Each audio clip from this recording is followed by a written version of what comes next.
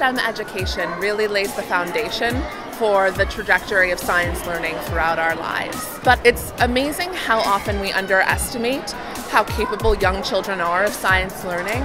Here at the Hall of Science, we're able to invite the whole family in activate the prior knowledge that they have about the world around them, and then get them working together in order to make something, uh, design something that's personally meaningful to them and exciting in terms of compelling them to keep exploring science again and again.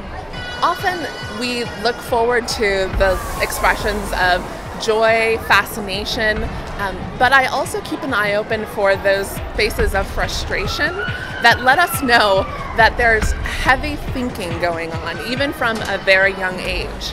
And it's in those moments of turning a, a failed idea into something um, that presents a new possibility um, that I often uh, find more rewarding. It's really a tremendous feeling to see them work through uh, the problem that they're trying to solve and develop new solutions that give them a greater sense of confidence um, in their ability to explore science.